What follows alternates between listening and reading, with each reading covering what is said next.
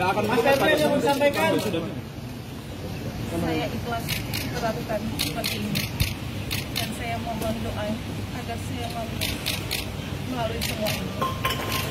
Ya, saya mohon izin titip anak-anak saya di rumah dan di sekolah mereka masing-masing. Untuk anak-anakku saya belajar yang baik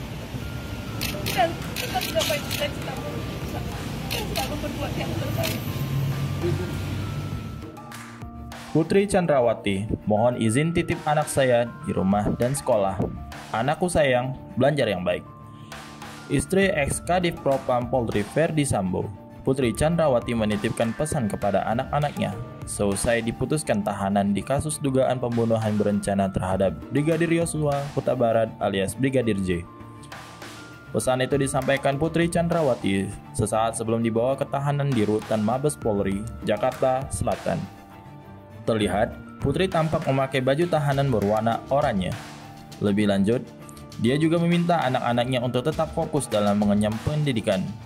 Sebaliknya, dia juga meminta anak-anaknya untuk fokus untuk menggapai cita-cita dan berbuat yang terbaik.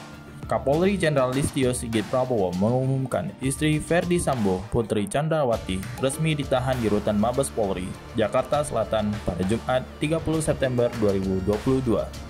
Menurut Sigit, penahanan tersebut setelah penyidik melakukan pemeriksaan kesehatan terhadap Putri Chandrawati.